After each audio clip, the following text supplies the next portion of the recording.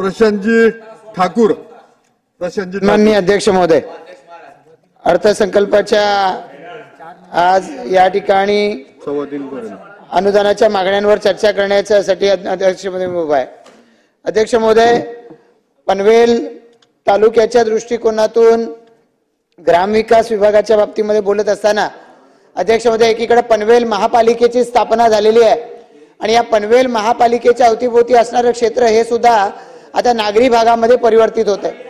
पण अध्यक्ष महोदय या भागामध्ये सेवा देणं आणि त्याचं नियंत्रण हे ग्रामविकास विभागाकडे आहे. पण अध्यक्ष महोदय नव्यानं सिडकोच्या माध्यमातून या सगळ्या परिसरामध्ये नैना नियोजन प्राधिकरण झालेलं आहे. पण त्या नैना नियोजन प्राधिकरणाकडून ग्रामविकासासाठी हवा तशा पद्धतीनं सहभाग त्याच्यामध्ये घेतला जात नाही. आणि त्यामुळे या परिसरामध्ये वाढलेली जी पनवेल तालुक्यातली लोकसंख्या आहे याच्यामध्ये वेगवेगळ्या पद्धतीनं घनकचऱ्याचे प्रश्न निर्माण झालेले आहेत. लो ग्रा ग्रामपंचायतींच्याकडे त्यांच्या कचऱ्याच्या व्यवस्थापनाची सिस्टीम नाही. त्याच्यामुळे त्यांना ते कचरा तसाच्या तसा अनेक ठिकाणी सार्वजनिकरित्या रस्त्यावरती टाकला जातोय. अध्यक्षामध्ये ग्रामपंचायती आपल्या सांडपाण्याचं काही नियोजन करत नाही सिवरेज वॉटरचं ट्रीटमेंट करत नाही. नदीमध्ये सर सरसकटपणानं असं मैलाचं पाणी सोडलं जात आहे अध्यक्ष महोदय या विषयावरती शासनानं आणि विशेषतः ग्रामविकास विभागानं याच्यामध्ये लक्ष देण्याची आवश्यकता आहे. आणि या ग्रामपंचायतींना एकत्रित मिळून त्यांच्या घनकचऱ्याचं व्यवस्थापन असेल सांडपाण्याचं व्यवस्थापन असेल या संदर्भामध्ये काही योजना आणण्याची आवश्यकता आहे. अनेक ठिकाणी ग्रामपंचायतीची लोकसंख्या जास्त आहे. चार ग्रामपंचायती पाच ग्रामपंचायती दहा ग्रामपंचायती एकत्र येऊन घनकचऱ्याच्या ट्रीटमेंटच्या संदर्भामध्ये त्या ठिकाणी शासनाचा निधी आणि त्या ग्रामपंचायतीचा निधी यातून काही व्यवस्था करण्याची आवश्यकता अध्यक्ष महोदय. अध्यक्ष महोदय या सगळ्या पनवेलच्या परिसरामध्ये आता शहरामध्ये घरं परवडत नाहीत म्हणून लोक शेजारच्या गावामध्ये राहायला आली. पण त्या गावांपर्यंत पोहोचण्याच्यासाठी त्या सार्वजनिक वाहतूक व्यवस्था नसल्यामुळे लोकांना स्वतःच्या छोट्या छोट्या वाहनांनी प्रवास करावा लागतो. अशा वेळेला अध्यक्ष महोदय या सर्व ग्रामपंचायतींनी आपल्या परिसरातल्या हद्दीमध्ये स्ट्रीट लाईटचं नियोजन करण्याची आवश्यकता आहे. त्यांच्याकडे निधी नसल्यामुळे अध्यक्षमध्ये करू शकत नाहीत.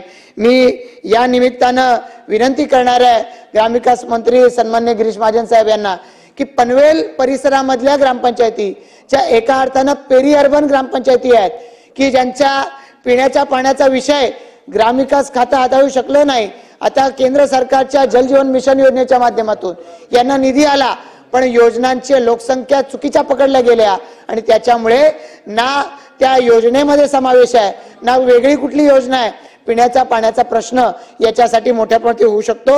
या संदर्भामध्ये सन्माननीय पाणीपुरवठा मंत्र्यांच्या सोबत या विषयाचा निपटारा करण्याची आवश्यकता आहे. अध्यक्ष महोदय मोठ्या प्रमाणात पनवेल महापालिकेच्या हद्दीमध्ये एक्कावन्न शाळा ज्या जिल्हा परिषदेच्या अंत- अंतर्गत येतात या शाळा अद्यापही महापालिका हद्दीमध्ये असून देखील त्या व्यवस्थापन मात्र त्याचं यांच्याकडे ग्रामविकास विभागाच्याकडे आहे. अध्यक्ष महोदय या शाळा लवकरात लवकर पनवेल महापालिकेला हस्तांतरित झाल्या पाहिजेत जेणेकरून त्यांच्या इन्फ्रास्ट्रक्चरमध्ये कुठलाही तुटवडा भासणार नाही आणि त्या शाळा चांगल्या पद्धतीनं शिक्षण देऊ शकतील.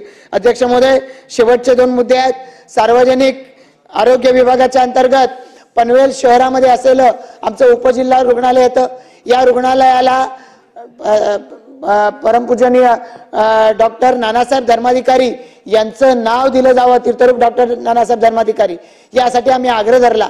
पण अध्यक्ष महोदय आज त्याची दुरावस्था होत चाललेली आहे. पुर आवश्यक तो स्टाफ या रुग्णालयाला दिला जात नाही. आवश्यक त्या सुविधा मिळत नाहीत. आणि अशा वेळेला शंभर बेडेड हॉस्पिटल. हे सुद्धा अपुरं पडायला लागलंय. अध्यक्ष महोदय दोनच मुद्दे राहिलेले आहेत. हा, या हॉस्पिटलला आता दोनशे बेड करण्याची आवश्यकता आहे. जेणेकरून सर्व तो आवश्यक तो स्टाफ मिळू शकेल. आणि त्या माध्यमातून या हॉस्पिटलमधून शेकडो हजारो गरिबांची सेवा होऊ शकणार आहे. अध्यक्ष महोदय याच ठिकाणी मोठ्या प्रमाणात अपघाताचे पेशंट्स येतात. त्यासाठी शंभर बेड ट्रामा हॉस्पिटल सुद्धा पनवेलमध्ये होण्याची आवश्यकता आहे. आणि अध्यक्ष महोदय शेवटचा एक मुद्दा राहिलाय. या सर्व परिसरामध्ये पोस्टमार्टमच्या दृष्टिकोनातून अनेक पेशंट येतात. पण त्याला प्रचंड विलंब विलंब लागतो. म्हणून त्या ठिकाणी पोस्टमार्टम सेंटर निर्माण करण्याची अध्यक्ष करा. अध्यक्ष महोदय आवश्यकता आहे. शेवटचा मुद्दा अध्यक्ष महोदय या शासनाच्या वतीनं मी अभिनंदन करतो. लाडकी बहीण योजना सुरू केली. पण या योजनेच्या ऑनलाईन या ठिकाणी ॲप्लिकेशनमध्ये खूप मोठ्या प्रमाणात अपलोड करण्यामध्ये प्रॉब्लेम येत आहेत. त्यासाठी शासनानं लवकरात लवकर याच्यामध्ये दिलासा मिळून देण्याची आवश्यकता आहे. तो द्यावा अशी विनंती करतो. अध्यक्ष आपला आभार. धन्यवाद.